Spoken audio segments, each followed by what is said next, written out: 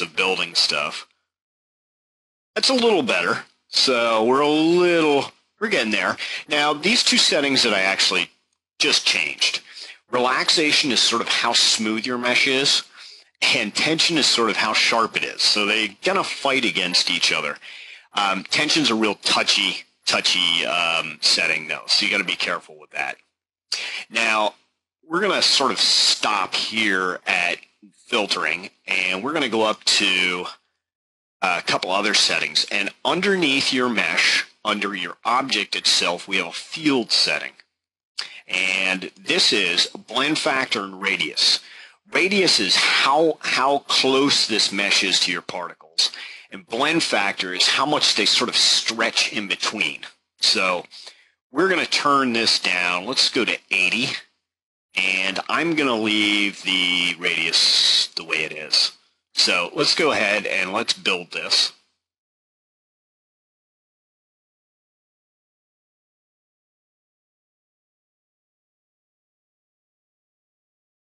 That's new, not too bad. Now we're getting sort of closer to uh, what I want. You know, we're getting a little tighter to our particles. Um, let's go back in and sort of just, let's drop down our filtering size to 0.3. And let me rebuild that.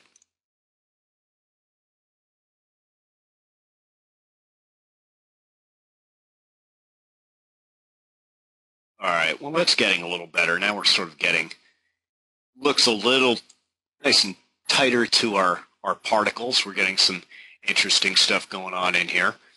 Um, now, the last thing I want to do is I'm going to go in, I'm going to turn on, we have two sort of stretching deformation of these particles. And we have speed flattening and speed stretching. And what I'm going to do is I'm going to turn on speed stretching, and I'm going to put this to about 0.8, and I am going to rebuild this.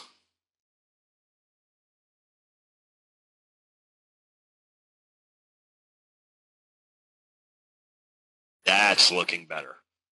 So now what we're getting is we're getting some sort of, as the particles are faster, they're sort of stretching a little bit, and that's sort of what I want. Um, I actually want to move to somewhere else and just sort of check when we're sort of first particles come in. Let me just build this real quick.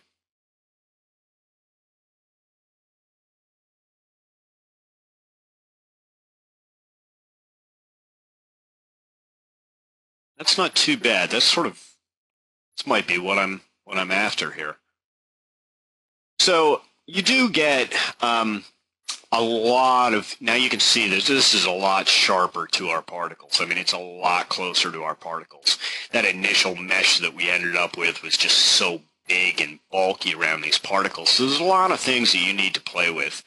So just keep in mind, you know, this is sort of smoothing it out. This is sharpening the edges. Underneath here, uh, blend factor is how much uh, this mesh is going to stretch to each particle and radius is how the radius around your mesh that your mesh goes around your particles. So if you change with a lot of these, I mean that's sort of what you're. Uh, those are sort of the settings you need to go into and set. So our last thing that we would do is we would just simply back up and now we would go up to this last little button up here and we would hit build meshes. And what this thing is going to do is it's an automatic script that runs, and it's just going to go and it's going to build me a mesh for each of my uh, particles. And what we're going to do is we're just going to let this go through.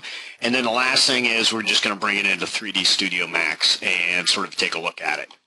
So we'll pause this till we sort of get everything going here, and I'll be right back. Okay, our meshes are finally done building, so let's just minimize this and we'll go back into 3D Studio Max.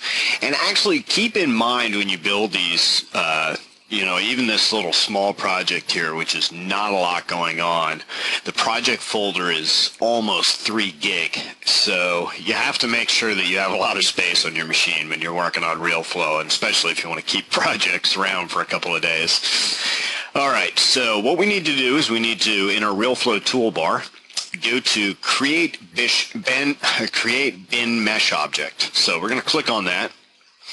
And what we're going to to do is navigate to our project here, which is the lesson.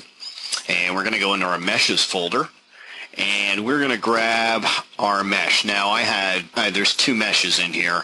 I need uh, 02, so I'm just going to click on any one of those and it should bring me in my mesh and there's my wine. So let's sort of just take a look at this and it is pretty high polygon so we're going to get some and that's not too bad. We're sort of getting you know, sort of what we want out of our wine. And we are pretty much ready to go. Now, there's a couple issues in this, and we did sort of rush through this. You know, you can't get every little type of thing down. Um, you know, like we have a little too much smoothness around this edge here. Um, so that would have to do with how we built our mesh. We would want that to be a little sharper. Um, but like I said, we did sort of rush through this one a little bit, but uh, it sort of gives you an idea of, you know, filling up objects, pouring objects in, building your mesh, importing them back into your 3D package. And uh, so that's it pretty much for this uh, tutorial, and I uh, hope it helped you out. Thanks a lot.